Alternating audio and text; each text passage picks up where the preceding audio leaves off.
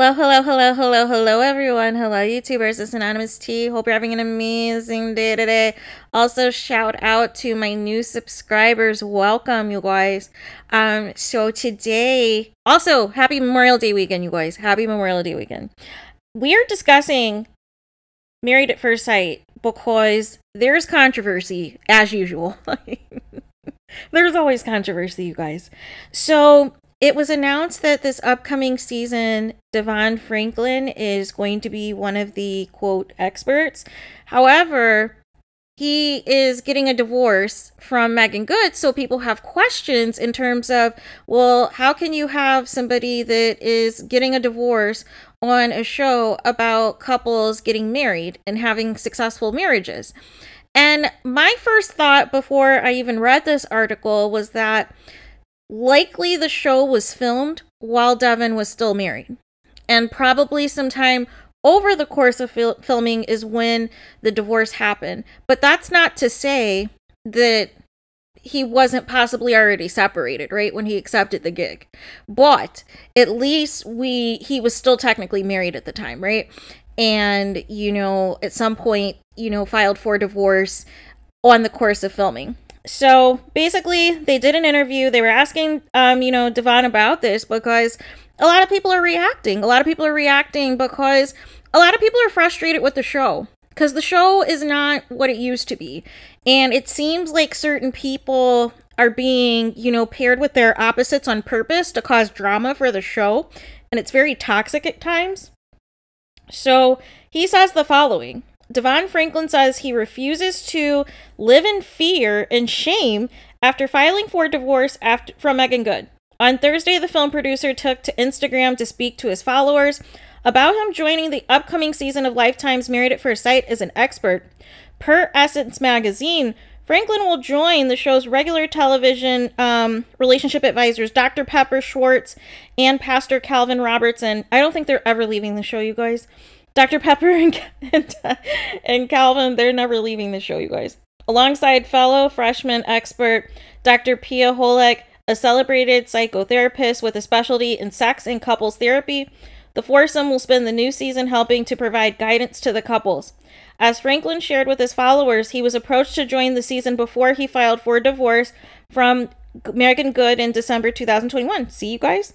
He explained that after the filing was revealed, the show's production told him that didn't matter to them because they still felt like that he could help with their couples. I was going to tell them no because I felt shame and that voice in my head said, "You're a failure. How can you help anybody save their marriage when yours didn't work out?" he added. That voice in my head also had me thinking about what people would say. Would people approve or disapprove? And then I had to ask myself, is this how I'm going to live the rest of my life? In fear about what people say and who are people anyway. So I went back to the Married at First Life, Lifetime team and told them, yes, I'll still come. I refuse to live in fear or shame and you know to live free and exceed your highest expectations author went on to share that something powerful happened during filming saying that he was able to use his trials and tribulations to help a couple successfully sort through their issues. A lot of times that voice in our head is our worst enemy. It tries to talk to us out of what god is trying to tell us you know and talk us into he added. I was trying to get through this life perfect and without failure and now I'm just living to get through it truthfully. And what I've learned about love and relationships can help someone, then I am here for it. Franklin filed for divorce from Meagan Good in December two, um, 2021 in an LA courthouse. According to legal docs obtained by ET, the date of the separation was listed as August 21st, 2021, and the reason he cited for the divorce was irreconcilable differences. The actress and Hollywood producer author got married on June 16, 2012. They have no children together. They met on the set of their 2011 film Jumping the Broom and got engaged May 2012.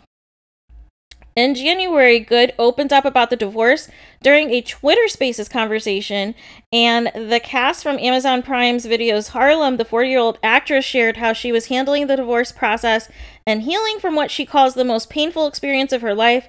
Throughout life, I've always approached relationships as an understanding that at some point they'll get to the place that they're going to, and then they'll be over.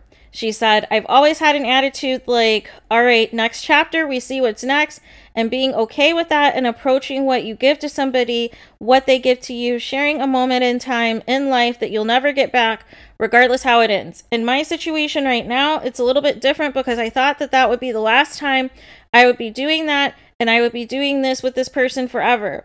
Not everything makes sense to me right now, but I trust God and I'm excited to see what's next act of life is going to be and what God had in store. And that's all I can really do. Even by doing that, I do have a gratitude, so much joy in my heart for these past 11 years that Devon and I have been together, good it, what he's given into my life, what I was able to give him, just everything.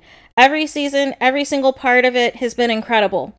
Still, even with her optimism for the future and putting her trust in God in the process, no matter what it is. Good admits that she still is grieving her marriage and the bond she shared with Franklin. Still grieving, still hurt. It's going to be a long time, but at the end of the day, it has made God even more my lover and even more my husband and even brought our relationship to new depths and new heights. So I am in gratitude for that, she said. Season 15 of Married. Um, oh no, there is a typo, you guys. there is a typo Entertainment site, you guys. It says, I kid you not, it says season 15 of Married to Medicine premieres July 6th on Lifetime. You guys, you guys, this isn't Bravo. This is Married at First Sight. OMG, OMG, OMG. you guys no this is this is lazy reporting you guys this is lazy reporting and entertainment tonight is usually a reputable source and I need to find out if this was an error on Essence's part, on ET Online's part, because it's definitely not Married to Medicine, you guys. That show is on Bravo. This show is on Lifetime. Make it make sense. what is going on? I totally even forgot what I was going to say. So, as far as this goes, I presumed that he was likely, you know, separated at the time when he was approached for the show, even though technically he was still legally married, is kind of my takeaway. And basically, when he filed for a divorce, he was probably still, you know, on the fence of whether or not to join the show or what have you, and felt a certain type of way if he should continue, and then ultimately decided to proceed forward. But I get it. I get it. But the irony that people are upset about this, but you guys also accept relationship and marital advice from people on YouTube who also have been divorced or are going through a divorce or who are single or what have you or are having their own issues in their personal lives but you look to them as relationship gurus. So at the same token it's like on one hand yes you're currently getting a divorce and you're giving advice to couples who are trying to, you know, survive their marriage. so um, it kind of seems a little backhand.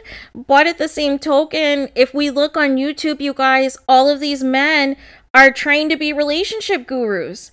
And for the most part, there's only a small percentage of them that actually can practice what they're preaching, actually can practice and say, hey, I've been happily married with kids. I can tell you how a guy thinks versus people like Devon Franklin, who's like, hey, I'm going through a divorce, but I'm going to give you guys marital advice, you guys. And here's the thing it could also be beneficial, like the example that he gave in the article, which was he was able to help a couple that was going through things because as we see on Married at First Sight, usually is we see all of the drama. We see all the drama, all of the conflict, all of the issues with these couples. So maybe Devon told them something that, you know, might help them that didn't help his marriage or what have you, is why he's getting the divorce. So I mean, we'll have to wait and see how this goes. I already know everybody's going to be on their high horse and everybody's going to be, you know, this isn't fair. This isn't, how can you be on a show about marriage and blah, blah, blah, blah, blah. But then at the same token, look on YouTube, you guys. Look at how many men are claiming to be relationship experts. And ask yourself, out of all of those men, how many of them are in you know, committed relationships or happily married with kids? How many of them? What is the ratio? What is the percentage of that? But you guys will watch those channels in droves and, you know, seek their advice, seek their assistance in your love life and issues in your personal life, and not question the fact this person has been through, you know, divorces, they have a terrible, you know, track record with relationships, but you still go to them. You still go to them for the advice, you guys.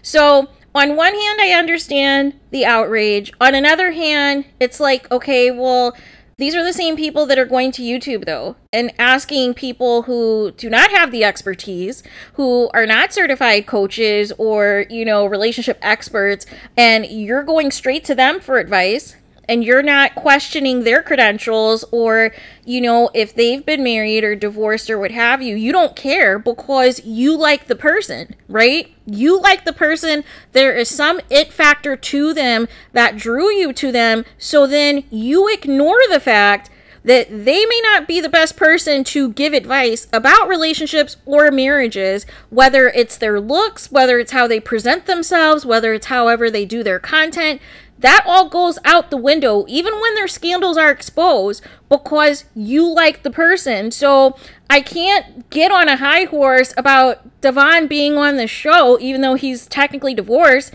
because this is par for the course. This is what married at first sight probably preferred him to be divorced.